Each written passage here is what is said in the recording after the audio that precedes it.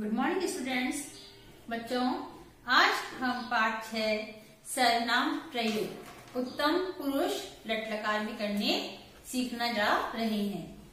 तो सबसे पहले बच्चों, आपको पता होना चाहिए कि सर्वनाम क्या होते हैं। आपको पता ही होगा कि जो शब्द संज्ञा के स्थान पर प्रयोग किए जाते हैं, उन्हें हम सर्वनाम कहते हैं। जैसे कि, मैं, तुम, हम, हमें, हमारा, इसका, उसे, उनका, उन्हें, इत्यादि। ऐसे ही संस्कृत में अहम, आवाम, वयम, तुम, युवाम युष्मान अस्माकम, ये सब हमारे सर्वनाम शब्द हैं। तो आज हम सर्वनाम शब्दों का उत्तम पुरुष लट लकार में प्रयोग करना सीखने जा रहे हैं। लट लकार लट लकार का मतलब होता है वर्तमान काल। जो हमारा अभी समय चल रहा है, उसे हम वर्तमान काल कहते हैं। तो हम वर्तमान काल में ही उत्तम पुरुष में सर्वनाम शब्दों का प्रयोग करना सीखने जा रहे हैं। उत्तम पुरुष क्या होते हैं? यह मैं आपको बताना चाहूँगी। उत्तम पुरुष वह होता है जो बात को कहता है। जैसे कि अभी मैं आपके सामने हूँ मैं आपसे अपनी बात कह रही हूँ तो इस समय उत्तम पुरुष कौन हुआ? मैं हुई तो उत्तम पुरुष के लिए जो सर्वनाम प्रयोग किए जाते हैं, वह अहम आवाम वयम होते हैं। इसके अलावा अन्य भी सरनाम होते हैं।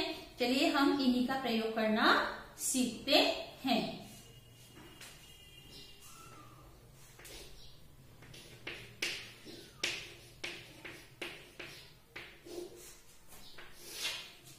एक वचन एक व्यक्ति वस्तु के लिए प्रयोग किया जाता है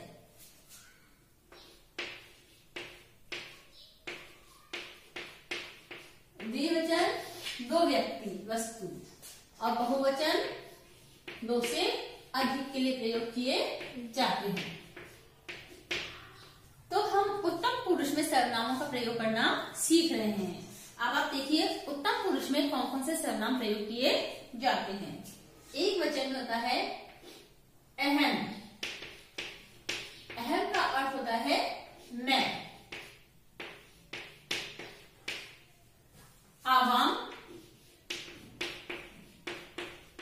आवाम का मीन्स होता है हम दोनों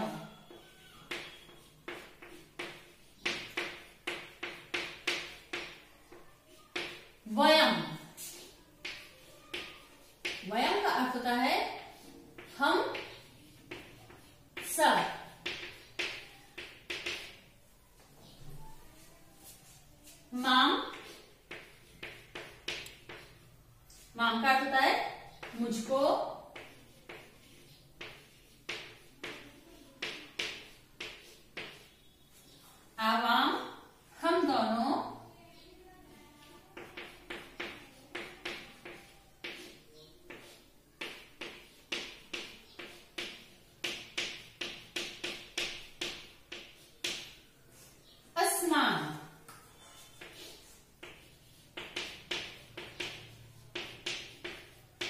असमान मतलब हम सबको।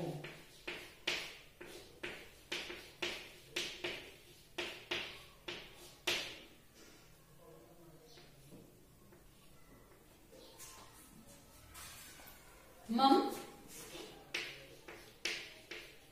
मम का अर्थ होता है मेरा।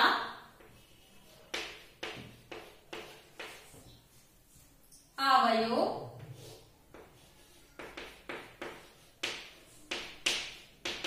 आवयो का अर्थ होता है हम दोनों का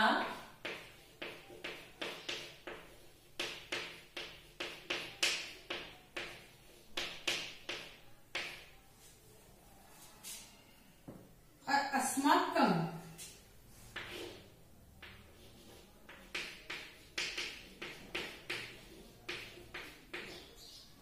अस्माकम होता है हम सबका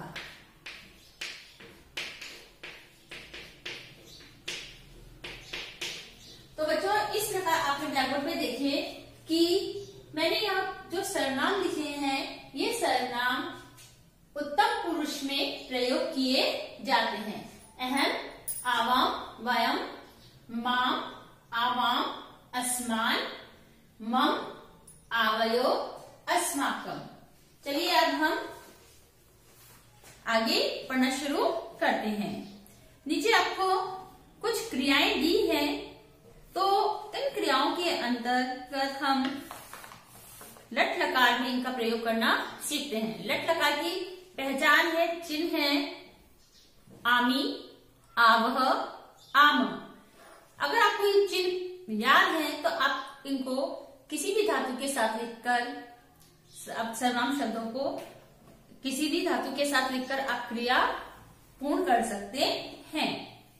जैसे पट है, पट में हमने आमी लगा दिया तो पठानी पठाव, पठाम। गच में हमने आमी लगाया तो गच्छामी, आव लगाया तो गच्छाव आम लगाया तो गच्छाम धाव में लगाया तो धावामी आव लगाया तो धावावह, और आमह लगाया तो धावामह। इस प्रकार हम इन चिन्हों की सहायता से इन्हें धातुओं में लगाकर क्रिया पूर्ण करते हैं। जैसे क्रीड में लगाया तो क्रीडामी, क्रीड़ाव, क्रीडाम। भू या भव में लगाया तो भवामी, भवाव, भवाम। रक्ष में लगाया, रक्षामी, रक्षाव, रक्षाम। कृष्ण में लगाया कृषामी कृषाव, कृषाम। नम में लगाया, नमामी, नवाव, नमाम। गे या गाय में लगाया तो गायामी, गायावह, गायाम। क्री में लगाया तो करोमी, कुर्व, कुर्म। दृश्य में लगाया या पश्य में लगाया तो पश्यामी, पश्याव, पश्याम। नृत्य में लगाया, नृत्य का मतलब होता है नाचना। नृत्यामी, नृत्यावह नृत्याम अस्मि लगाया, अस्मी, स्व, स्म। चिंत में लगाया चिंत्यामी चिंत्यावह चिंत्याम चलिए बच्चों, अब हम पेज नंबर थर्टी थ्री से रीडिंग करना शुरू करते हैं। यहाँ कुछ वाक्य दिए हुए हैं, इन्हें हम पढ़ रहे हैं। अहम छात्र अस्मि। अहम का मतलब है, मैंने आपको बताया था, अहम का मतलब होता है मैं। मैं छात्र हूँ। मम नाम दीपक अस्ति। मेरा नाम दीपक है।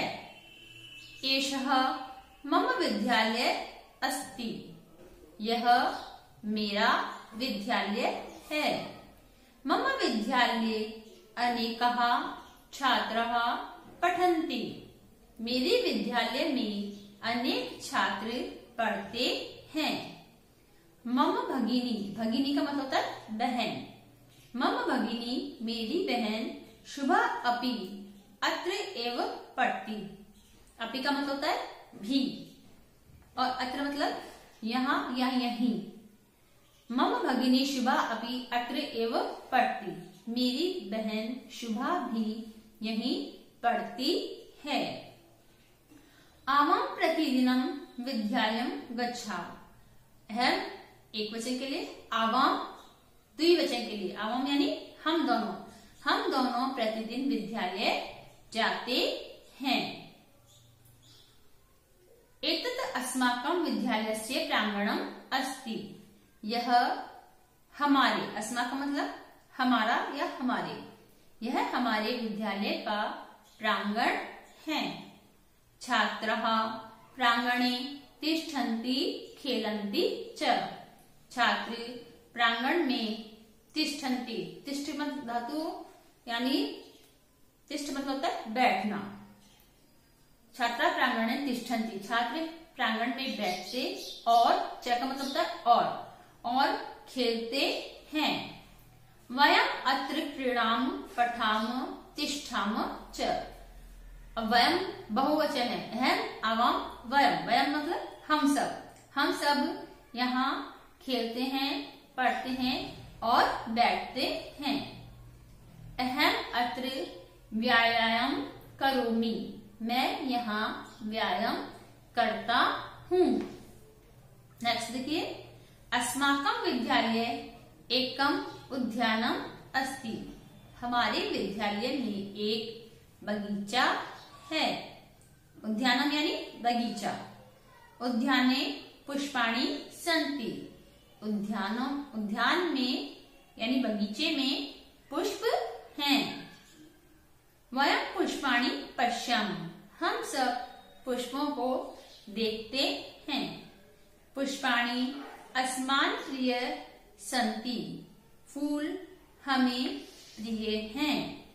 पुष्पाणी मनोहराणी भवंती पुष्प मनोहर होते हैं। अहम प्रातः काले उद्याने भ्रमामी भ्रमामी यानी घूमना। मैं प्रातः काल उद्यान में घूमता हूँ। आवाम, छात्रों, स्व। आवाम मतलब हम दोनों। हम दोनों छात्र हैं। आवाम, सभागारम गच्छाव। हम दोनों सभागार जाते हैं। तत्र आवाम गीतम गायाव वहाँ हम दोनों गीत गाते हैं।